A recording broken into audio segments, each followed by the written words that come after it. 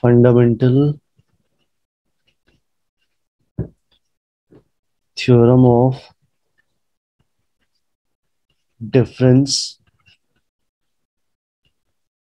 calculus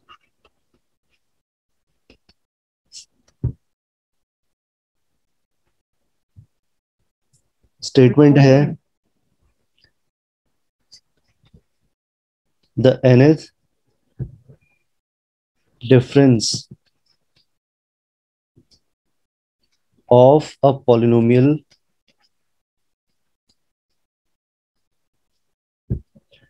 of degree n is constant and higher order differences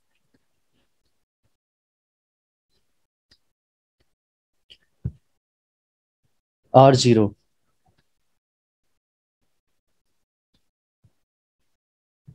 That is, if fx is a polynomial of degree n in x, then the nth difference of fx is constant and n plus 1th difference is zero ये statement है इसका, इस theorem का।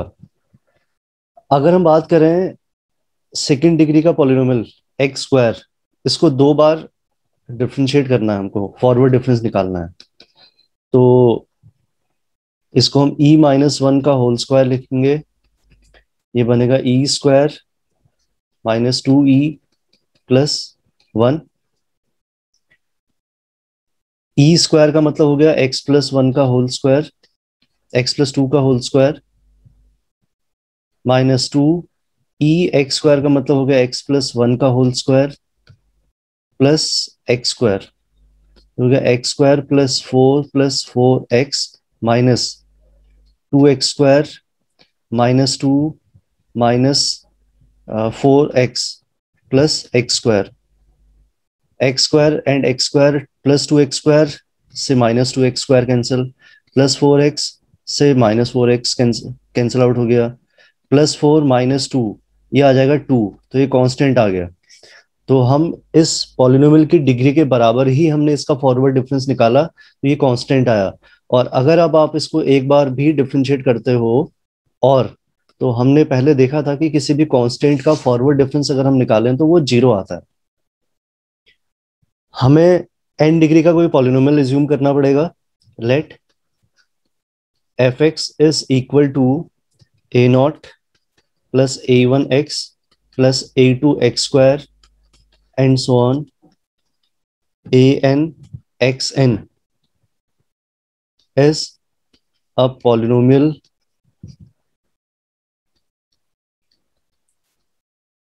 of degree n in X, where A naught, A1, A2 up to AN are constants and N is a positive integer.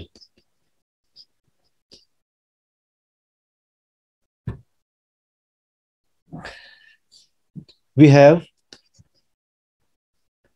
del f x पहला forward difference अगर हम निकालें तो ये होता है f x plus h minus of f x f x plus h की अगर हम बात करें तो ये फ़ंक्शन से एफ़ एक्स प्लस एच हम निकालेंगे a naught plus a one x plus h plus a2 x plus h whole square and so on a n x plus h की होल पावर एन ये f x plus h की value हो गई minus f x f x की जगह पे a naught plus a one x plus a two x square and so on a n x की power n ये del f x की value आ गई.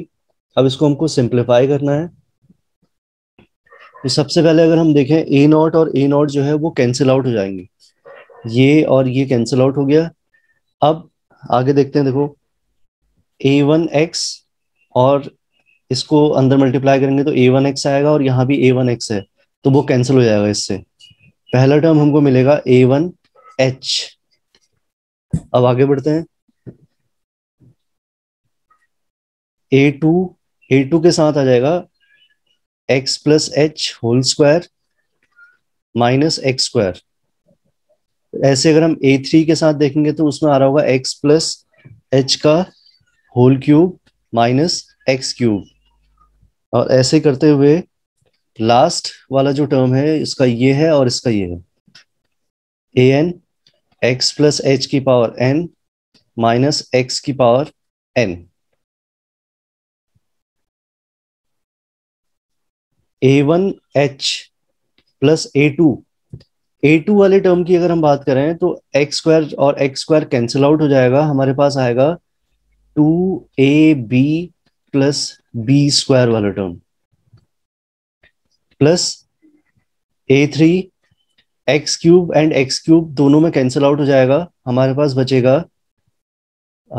h cube plus three x square h plus three x h square a plus b का whole cube x cube और x cube cancel out हो गया था, उसको हमने कैंसिल कर दिया। इसी तरीके से हम आगे बढ़ेंगे और एनथ टर्म में जब हम जाएँगे ए एन ए एन को लिखेंगे बाहर। एक्स प्लस एच की पावर एन का एक्सपेंशन लगाएँगे। तो पहला टर्म आएगा एक्स की पावर एन और वो एक्स की पावर एन इस एक्स की पावर एन से कैंसिल हो जाएगा। अगला टर्म आएगा एन सी वन एक्स की power n minus one into h अगला टर्म आएगा एन सी टू एक्स की power n minus two binomial expansion h square and so on last term आएगा एच की पावर एन इन टर्म्स को अगर हम ध्यान से देखें तो हमें ये वाला जो टर्म है, ये कांस्टेंट मिल रहा है। ये वाला और ये वाला टर्म कांस्टेंट मिल रहा है। ये टर्म कांस्टेंट मिल रहा है। तो हर एक सीरीज़ में, हर एक एक्सपेंशन में हम देख रहे हैं कि हमको कुछ ना कुछ कांस्टेंट मिल रहा है। इन सारे कांस्टेंट को ऐड कर लिया जाए। इसको ये वाला जो कांस्टेंट आएगा, ये वाला जो कांस्टेंट आएगा, ऐसे ही हर एक टर्म में जो कांस्टेंट आ रहा है, उन सबको ऐड कर लिया जाए और ऐड करेंगे तो फिर से हमको एक कांस्टेंट मिलेगा। उस कांस्टेंट को हम मान लेते हैं क्या? B naught del f x आ रहा हमारा। तो जितने कॉन्स्टेंट्स आ रहे हैं, इन सारे कॉन्स्टेंट्स को ऐड करके जो कॉन्स्टेंट बनेगा, उसको हमने बी नॉट मान लिया। अब जैसे सारे कॉन्स्टेंट को ऐड करके हमने बी नॉट माना तो अगला हम जो टर्म देखेंगे एक्स की पावर वन वाला टर्म यहाँ भी है एक्स की पावर वन वाला टर्म यहाँ भी है एक्स की पावर वन हमको हर जगह मिल रही है आगे।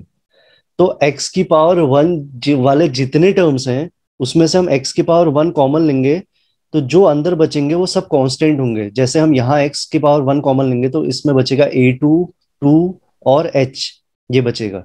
ऐसे यहाँ एक्स की पावर वन कॉमन लेंगे तो थ्री एच स्क्वायर और ए थ्री बचेगा। ये सारे कांस्टेंट को फिर से ऐड करेंगे तो फिर से हमको एक कांस्टेंट मिलेगा। तो उस कांस्टेंट को हमने बी वन मान लिया और हमने कॉमन क्या लिया हुआ था? एक्स लिया हुआ था। ऐसे ही ये सेम प्रोसेस हम अप्लाई करते रहेंगे b two x square and so on second last term में जब हम जाएँगे तो ये आएगा बी क्योंकि यहाँ पे हमने जो पॉलिनोमियल लिया था वो एन डिग्री का लिया हुआ था। एफ़ एक्स जो लिया था हमने एन डिग्री का पॉलिनोमियल लिया था। लेकिन अगर आप इस डेल एफ़ एक्स को ध्यान से देखोगे और आगे आप बढ़ते जाओ लास्ट टर्म तक जाओगे तो इसको देखने से आप क्या इसको देख के बता सकते हैं कि ये कितनी डिग्री का बन रहा है? तो forward difference first forward difference हमने निकाला तो वो एन माइनस वन डिग्री का बन रहा है। तो इसका जो सेकंड लास्ट टर्म आएगा, वो आएगा b n minus two x की पावर एन माइनस टू और जो लास्ट टर्म बचेगा, वो बचेगा एक्स की पावर एन माइनस वन वाली. एक्स की पावर एन माइनस वन का सिर्फ़ एक टर्म बच रहा है यहाँ. ये है एक्स की पावर एन माइनस वन इसके साथ जो टर्म आ रहे हैं, वो है a n n C one की वैल्यू होती है एन एन ए एन और h where b naught, b1, b2, bn minus 2 are constants. This is our equation number 1. Therefore, del fx is a polynomial of degree n minus 1 in x implies that the first difference of a polynomial fx of degree n is again a polynomial of degree n minus one. पूरा explanation के साथ मैंने इसमें लिख दिया कि जो del f x हमारा आया है, वो आया तो पॉलिनोमियल ही है अभी भी, लेकिन इसमें जैसे ही हमने एन डिग्री का एफ़ एक्स को लिया था तो डेल एफ़ एक्स लेते ही फ़र्स्ट फॉरवर्ड डिफरेंस निकालते ही, इसकी डिग्री एक कम हो चुकी है। अब हम कोफिशियंट ऑफ़ एक्स की power n minus one in del f x. इसकी बात करें तो ये एक्स की पावर एन माइनस वन का जो कोफिशियंट आ रहा है, वो आ रहा है एन ए एन और एच। या हम कहें कि n into h into coefficient of x की power n in f x जो हमने स्टार्टिंग में एफ़ एक्स लिया हुआ है, उसमें एक्स की पावर एन का कोफिशियंट अगर हम देखें तो वो ए एन है। तो इस ए एन को हम क्या लिख सकते हैं? कोफिशियंट ऑफ़ एक्स की power n in f x n को पहले लिख दिया एच को दूसरे नंबर पर लिख दिया। तो हमें साथ ही साथ जो एक्स की सबसे हाईएस्ट पावर हमको मिलते रहेंगी, उनका कोफिशियंट को, उसको, उस पर भी फोकस करना है, ताकि हम जैसे एन डिफरेंस पे पहुँचे तो वहाँ पे भी हमको उसका कोफिशियंट मिल जाएगा।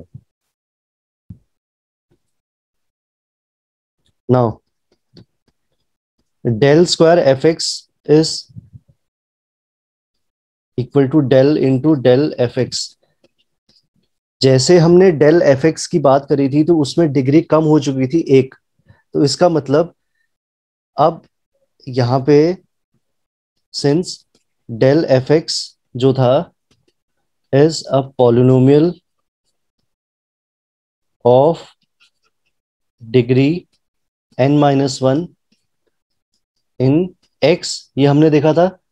तो इसका मतलब अगर हम इसको फिर से दोबारा से इसका फॉरवर्ड डिफरेंस निकालेंगे, वो बी नॉट वाली सीरीज़ जो हमने इक्वेशन वन मानी हुई है, उसमें उसकी एक डिग्री और कम हो जाएगी एक। तो ये हो जाएगा is a polynomial of degree n minus two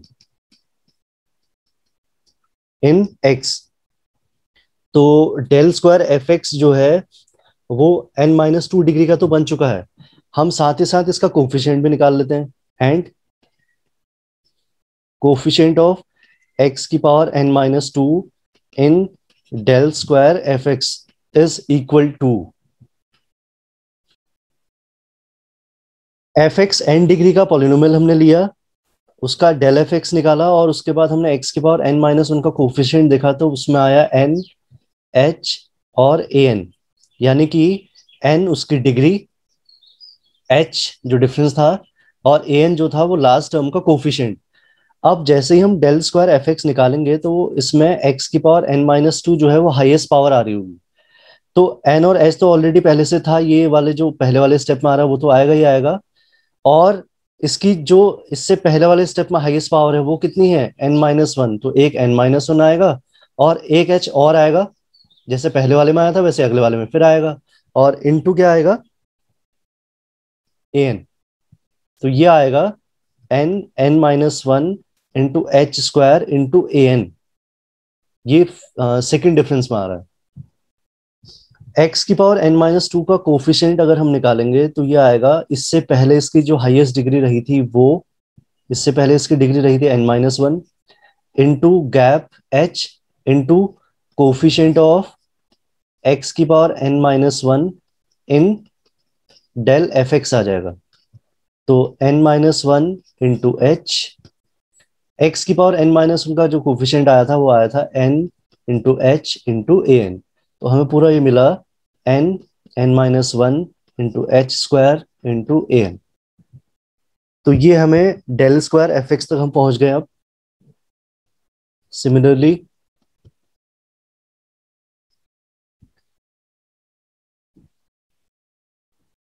proceeding in the same way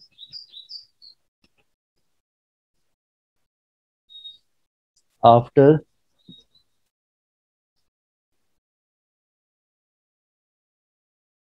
nth difference we get del की power n fx is a polynomial of degree हमने देखा कि पहला जो फॉरवर्ड डिफरेंस निकाला, उसमें डिग्री उसकी एन माइनस वन बनी। दूसरी बार डिफरेंस निकाला तो एन माइनस टू बनी। तीसरी बार निकाला तो एन माइनस थ्री बनी। ऐसे अगर हम एन टाइम्स निकालेंगे तो ये डिग्री बन जाएगी एन माइनस एन यानी कि ज़ीरो डिग्री का। दैट इज़ अ कांस्टेंट अब ये कांस्टेंट बन चुका होगा।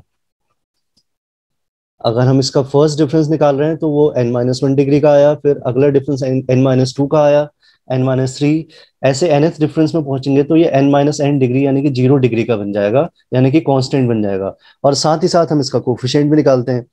तो डेल एन एफ़ एक्स अब इसमें अभी तक हमारे जितने पहले स्टेप में और दूसरे स्टेप में डिफरेंस ये था कि पहले स्टेप से हम दूसरे स्टेप में जब डेल एफ़ एक्स में आए थे तो एक टर्म कम हुआ।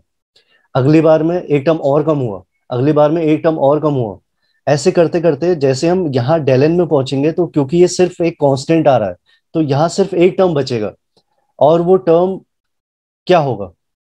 Del n f x, del n f x में जो टर्म्स हमारे पास आएँगे, n n minus one, n minus two, करते करते लास्ट टर्म इसका आएगा टू इंटू वन। जितना हम डिफरेंस निकाल रहे हैं एच की उतनी ही पावर आ रही है तो एच की पावर एन और ए एन तो आएगा ही आएगा। तो ये डेल एन एफ़ एक्स जो है, वो हमें कांस्टेंट मिल रहा है और वो कांस्टेंट है एन फैक्टोरियल एच की पावर एन ए एन तो एन डिग्री का कोई भी पॉलिनोमियल अगर आप ले रहे हो तो उसका आपने फॉरवर्ड डिफरेंस एन टाइम्स निकाला तो वो फॉरवर्ड डिफरेंस कांस्टेंट आ रहा है, ये हम प्रूव कर चुके हैं। और वो कांस्टेंट क्या आ रहा है, वो भी हमने निकाल लिया है।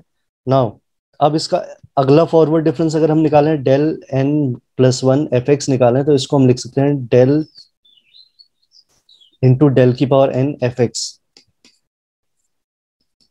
del del की पावर एन एफ़ एक्स हमने इससे ऊपर वाले स्टेप में निकाला हुआ है एन फैक्टोरियल एच की पावर एन ए एन और ये पूरा कांस्टेंट है, और किसी भी कांस्टेंट का फॉरवर्ड डिफरेंस अगर हम निकालें तो वो ज़ीरो होता है, हमको पता है।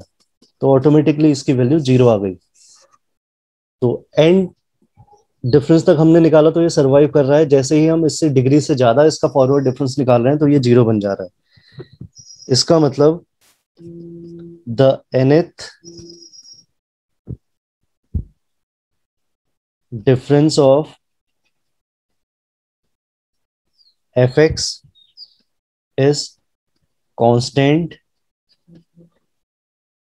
and all higher order differences are zero और यही हमको इस थ्योरम में प्रूव भी करना था